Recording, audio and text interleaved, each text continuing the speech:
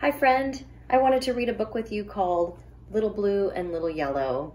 This is a book that we enjoyed reading in the puppies class and it's about friendship and it's about color. So come and read it with me.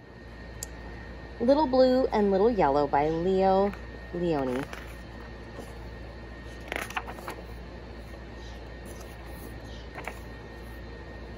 This is Little Blue.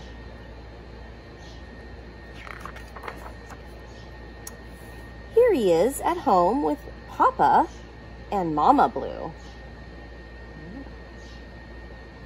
Three of them together. Little Blue has many friends.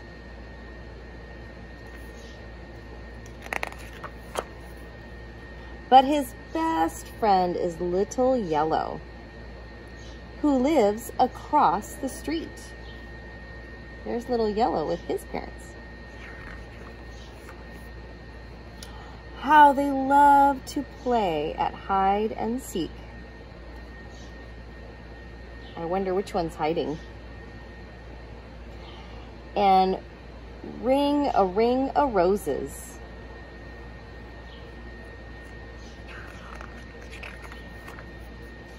In school, they sit still in neat rows, like this. After school, they run and jump. One day, Mama Blue went shopping. You stay home, she said to Little Blue. But Little Blue went out to look for Little Yellow. Alas, the house across the street was empty. He looked here and there and everywhere until suddenly, around a corner, there was little yellow. Happily, they hugged each other. Oh, something's happening when they hug each other. Can you tell?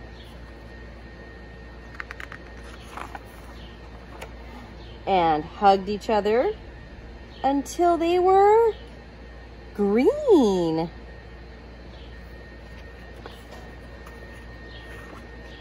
Then they went to play in the park. They ran through a tunnel. They chased Little Orange. They climbed a big mountain. When they were tired, they went home. But Papa and Mama Blue said, You are not our little blue, you are green. And Papa and Mama Yellow said, you are not our little yellow, you are green. Uh-oh. Little Blue and Little Yellow were very sad. They cried big blue and yellow tears.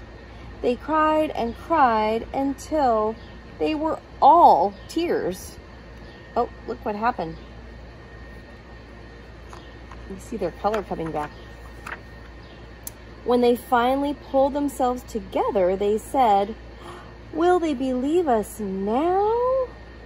Hmm, what do you think? Do you think they'll believe them now? Let's find out. Mama Blue and Papa Blue were very happy to see their little blue. They hugged and kissed him. And they hugged little yellow too. But look, they became green.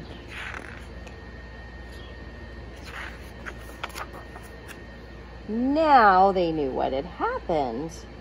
And so they went across the street to bring the good news. They all hugged each other with joy. And the children played until supper time.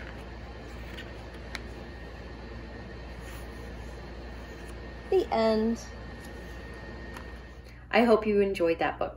Have a good day.